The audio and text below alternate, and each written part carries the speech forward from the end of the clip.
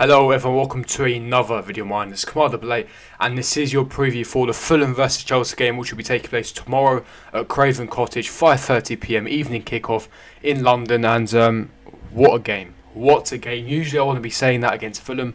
Fulham, you know, they were you know tipped to go down initially at the start of the season, but Scott Parker, he's done some magnificent things at club in the last few weeks, had a massive turnaround. We'll be delving into all the tactics, uh, my predicted lineup, what Lampard stated in his press conference. We'll also be going over my thoughts, opinions, score prediction, and how Fulham have done so well in recent weeks and their results, and what to expect from tomorrow's game. But before I do get into it, make sure you smash like button, subscribe, hit the bell notification, and comment down below your score predictions and your thoughts, opinions down below. But without further ado, let's get straight into tonight's preview. Now, starting off with the press conference, Frank Lampard yesterday conducted his press conference for tomorrow evening's game, and he started off with um, a fitness update. Fitness update and it was positive for the first time in quite a few weeks.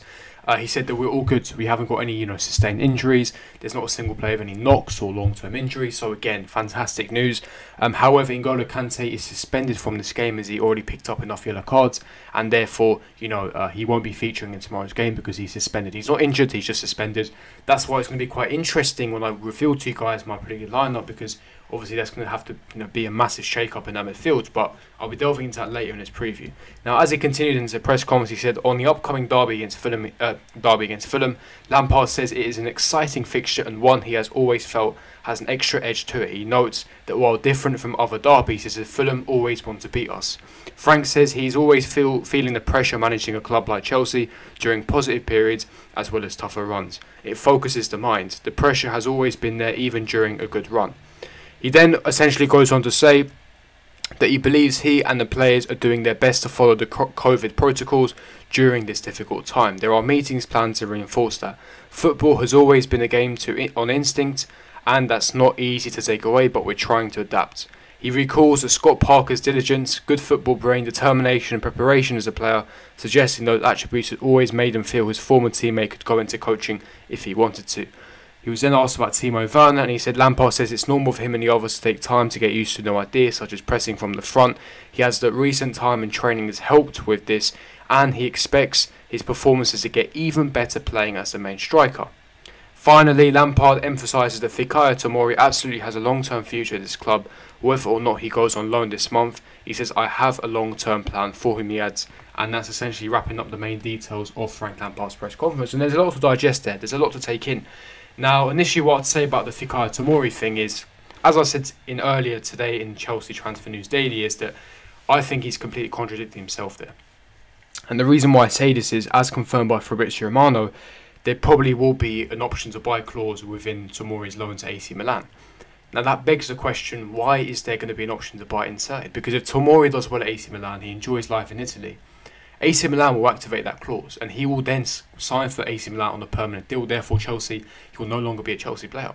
That makes no sense. So where where is this coming from? The fact that he has long term future, unless this news about him having an option to buy is complete nonsense. It's complete false. So we'll have to just wait and see on that one. Now again, um, as I said, uh, talking about how Chelsea players are following the COVID protocols, uh, fitness update that all the players are ready and fit, raring to go tomorrow, and we'll have to wait and see. Listen, there are no excuses for tomorrow's game. Fulham, they played only a couple nights ago. They played against Tottenham, got a fantastic 1 1 draw away at Tottenham. Again, this is what I mean by Fulham and Scott Parker. I'll be delving into that. But they've only had three days to recover, whereas Chelsea only last time played on Sunday. So we've had six days to recover for this fixture. Now, here's what I'm going to say about this we also played Morecambe, so again, it wasn't even our proper first team. We still had some first teamers resting for that game, so we've had a lot more time to recover, to rest, rejuvenate compared to that Fulham squad. We have a deeper squad, a thicker, more quality squad. Again, no excuses for tomorrow. If we don't get the three points, Lampard's job is under scrutiny once again. You know, the pressure will build again, continuously. And again, this is a must-win game. I don't think I would have said this before. You know, Fulham away, you're thinking, ah, you know, relegation favourites, nice easy three points and move on. You know, we've got some tough fixtures coming up. We've got Leicester City after this. Um, but this is a must win for Lampard's job. You know, if those players have got bottle, if those players are really back in Lampard, if they really support the manager, they'll go out there tomorrow, they'll put a top performance in, a professional performance, get the three points to come home. Simple as that. Yes, Fulham haven't lost in a while. They're unbeaten in I'd say five, six games. They drew to Tottenham, they drew to Fulham, they won away at Leicester 2 1 as well. They've had some top performances. Don't don't get it twisted. They've had some fantastic results and fixtures. And listen, you know, with Scott Parker's how he's done, with that grit, that determination, that pressing style he's initiating and deploying at Fulham is fantastic. Ruben Loftus-Cheek is not playing for this game, of course. He's playing against his parent club. And Geese is a player to look out for. Again, strong, physical, great on the ball, great you know technical ability. Uh, Tom Cairney is a good player as well. They've got some really good players in that Fulham, you know, first eleven. And if we're not careful, we will lose. You know, you are playing in the Premier League. You're playing against a Fulham side that's full of confidence, that's full of you know vibration. They're on a great unbeaten run. And if we if we're complacent in any situation, we will not come away with three points. We will not, and there's a good chance we could potentially lose this game. And I don't think that Lampard will be here if we lose this game. I generally don't think so. I think Roman will pull the trigger if we lose to Fulham. You know, his, his position becomes un, unattainable. It's, it's, uh, it's unaccountable at that point. How can you have you know two wins in nine, one of them being Morecambe, and still being a Chelsea job? You know, we'll be nine points adrift from top four. This is a must-win game. You know, this I cannot stress this enough. If we don't win tomorrow, forget forget not forget top four, but it looks makes things very difficult. And it makes things difficult for Lampard's position as well. Now getting into my predicted lineup for you guys. Now, as I said, N'Golo Kante suspended for this game, so therefore we will not be featuring in tomorrow's game. I'll be going for a 4-3-3. I'll be going for Edouard Mendy in goal. I know he's had some poor form, but again, we're going to have to go for him. Left back, I'm going to go for Ben Chilwell. Right back, if Reece James is fit again, as Lampard stressed, everyone is fit, so therefore Reece James hopefully is recovered from his knee injury and his knee knock. Reece James slots into that right back spot. Two centre backs off uh, Kurt Zouma and Thiago Silva. This is where things get interesting. Now, as I said, I'll go for a 4 3 3. I would go for Jorginho in his natural position. When I mean natural position, the deepest of the three, in the regista slash position. There's a deep line playmaker role just ahead of the two centre backs.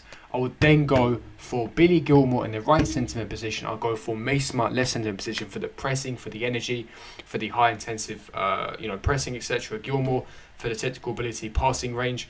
Again, this is a bit risky from what I'm doing. Like I said, this is risky. You've got two, you got you know two lightweight players in there. You've got Jorginho and Gilmour. You know, essentially with uh, Fulham's physicality, I mean, we could get overrun. However, Chelsea are going to dominate possession. We're going to have most of the ball. So having technical players in there who's got good passing ranges, it will help uh, essentially break down the Fulham's low block. Um, so as I said, that's the midfield three I'd go for. I'll then go for a front three. Callum Hudson-Odoi is definitely starting this game for me. Definitely, he's been on some fantastic run of form, and he deserves a start on merit. Callum Hudson-Odoi in his natural left, uh, sorry, right wing position, because I want Christian Pulisic on the left hand side. I would then go for Olivier Giroud as a number nine position. Timo Werner's been off form. Giroud start deserves to essentially start. And I'll go for Christian Pulisic and Callum Hudson-Odoi. Or alternatively, you could have Callum Hudson-Odoi on left wing and you could play Hakim Ziyech on the right hand side. But what is your predicted lineup? Leave me your thoughts, opinions in the comment section below. As I said again, let me stress this one more time. We have to win tomorrow. No ifs or buts. We have to win. Because if we don't win, see you later, Frank. See you later. And it, it pains me to say it, he has to go. Cannot be nine points off the top four midway through the season, you know, lingering around ninth or 10th with the investment that we made, with the squad that we have. Nah, it's not on. It's not acceptable. At, a club like Chelsea, the stature of Chelsea, you cannot afford to lose these type of games. And we already have so far this season. So, again, tomorrow is a must win game. We have to get the three points. Come on, Chelsea, you can do this. You know, even though I'm Lampard out, I'm still going to back my team to win. I still want to see it. I would never ever wish my team to lose. So, come on, Chelsea, Go and get those three points. Make us proud. Make yourselves proud. And let's go on a massive run. Let's pick up some form and let's go and get that top four. Score prediction, I'm going to go for a 2-1 Chelsea victory. What are you guys going to go for? Leave me your score prediction in the comment section below. But if you did enjoy this uh, video, you smash like button, subscribe, hit the bell notification, and I'll see you all guys for my next video. Peace.